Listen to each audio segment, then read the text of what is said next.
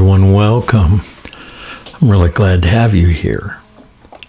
I know I've not done a video in a bit, and a lot of that is because I had a lot of changes uh, in my job.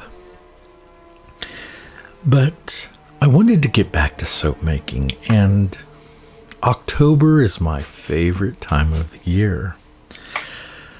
And, well, I wanted to start it out with a bit of fun. And what's more fun than a skeleton? um, some of my favorite films have been with skeletons. If you ever get an opportunity to see the movie The Lost Skeleton of Cadavra, make sure that you see it. It's a lot of fun.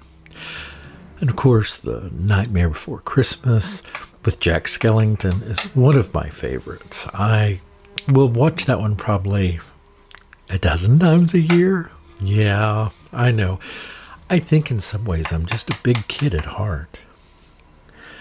This is a very nice soap for a lot of different reasons. First of all, it's full of charred bones, but you can call it activated charcoal if you like. and many of the ingredients in the video you will see have alternate names and that's all in good fun, and I hope you can appreciate that I'm just a bit silly. I'm overdubbing this because I had to make this soap in my off hours, in between a couple, I actually made it over a couple days, and in order to do that, I just decided to leave the audio out because I would be having to edit it in weird places, that sort of thing. So I just thought, well, I'll just overdub this and hope that that's okay with you all. This isn't unlike many other soaps that I've made. Uh, this one is um, a nice, it's full of nice oils and butters. It has avocado oil, olive oil, coconut oil. There is shea butter, cocoa butter, mango butter, it also has uh, castor oil, the uh, lye solution is aloe vera gel and aloe vera juice, some sea salt, and that's really about it. Uh, the skulls are made out of homemade glycerin soap, so very simple ingredients. And I colored it with uh, activated charcoal for the eyes with a bit of for the red. There is some uh, turkey rhubarb and the white was titanium dioxide. And they're fun without being too frightening i think. The skulls are scented with five-fold lemon. Smells fantastic. And the bars themselves are scented with rosemary essential oil. And I had fun putting these together. It's very relaxing because, well, as I stated, I did it over several days. My job has taken on, had taken on, some new responsibilities with a lot of challenges.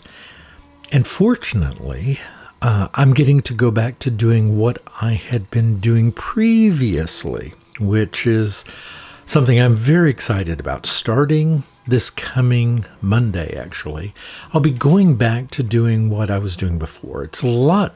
It's not, I'm not going to say it's less work. It isn't.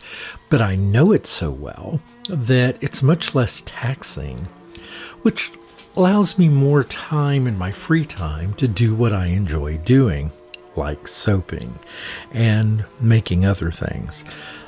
I have a couple of new items that I'm going to be demonstrating and putting in the shop soon.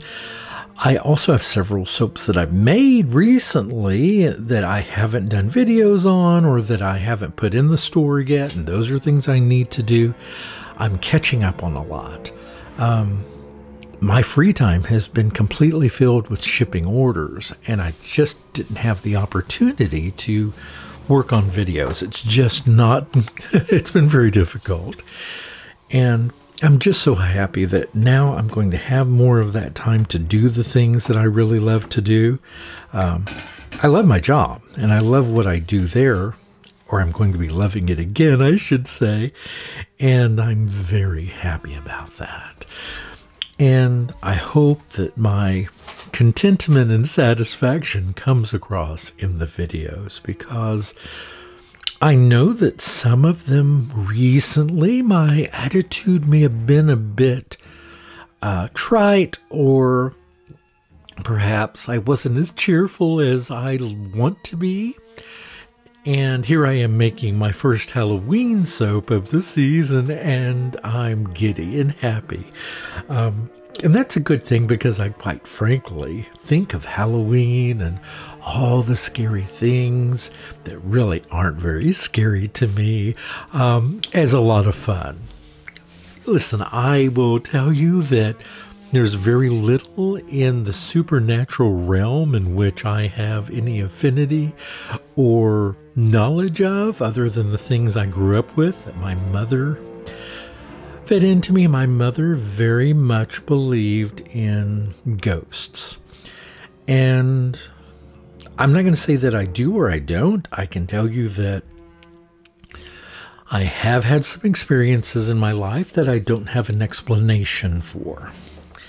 And I am not confident enough to say that they were uh, spirits. Um, they could have just been coincidental sounds or other things. I mean, because quite frankly, I was out in the wind recently, and the way the wind was blowing through this one branch in a tree near my house, when it would blow, it sounded like someone going, Away, away.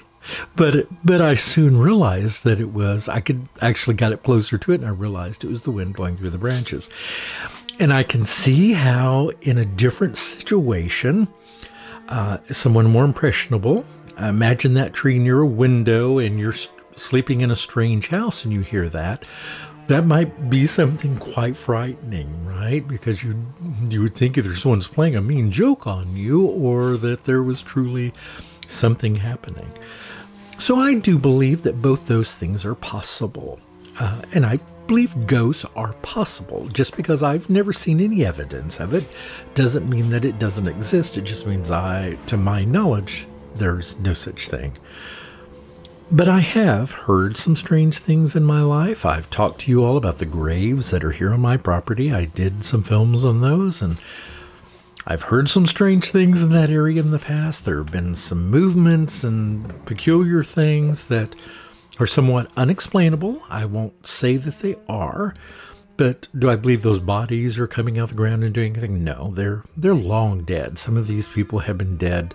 Well, the three that are there have been buried there over 150 or 100 over 100 years certainly and so do i fear anything of that no i don't and uh, i find this time of the year exciting. I can't really tell you why. It's um, i love all the stuff surrounding it i I mean, I think the witchy stuff is fun. There is a lot about it. And I know there are people that practice witchcraft of some sort or another and they believe in it. And I certainly would not uh, deter from that or contradict that or make fun of that. That's their business. And if, they, if it gives them joy, that's fantastic.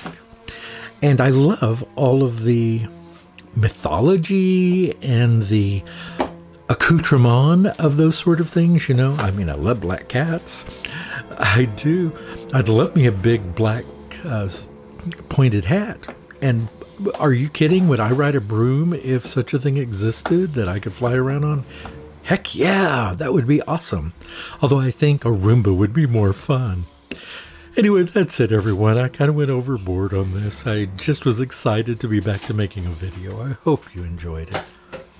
Please have a fantastic day, and I look forward to seeing you in the next video. If you haven't subscribed already, I hope you will.